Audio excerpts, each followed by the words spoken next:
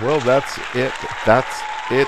I see the fat lady, and she's looking right at me. I have to go put her to bed. I want to thank all my guests this evening Tom Hanks, Sandra Bullock, and of course, Mariah Carey. Yes, I had to read that off the teleprompter. I'm sorry, Mariah. That's terrible. Come back tomorrow because we're going to do it all over again, and you don't want to miss that. Have a good night, everyone. Ed, I do not know what I'm doing here.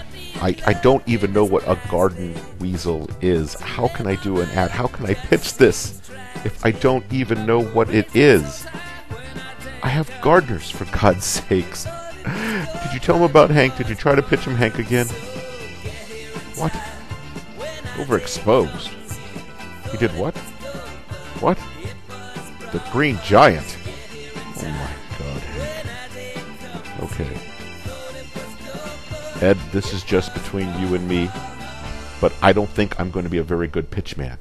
Uh, I, I, don't, I don't think people like me very much. Dirk, Hank is on video conference. Darlene said you want to see me? Wait a second. Did you just get your assistant to come in here and say that you wanted to have a. Uh, you know what? You know what? Forget about it. I don't have time for this. Hank, what is it you want from me? Um, permission to uh, speak freely? Um, permission granted. well, I, um, I just heard through the, uh, the grapevine that uh, we're thinking of doing a live commercial on the show tonight, and I was, uh, I was wondering. I was concerned why, you know, I was not consulted.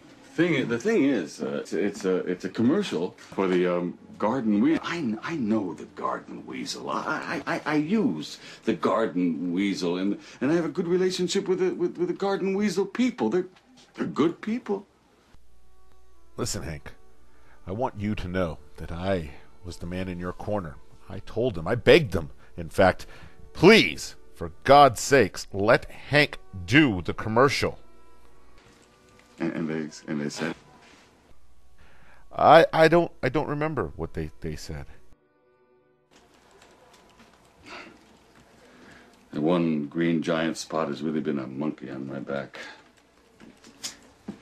I'll tell you one thing: if they uh, if they ever ask you to put on a pair of green tights, uh, no matter how much they offer you, you just uh, walk away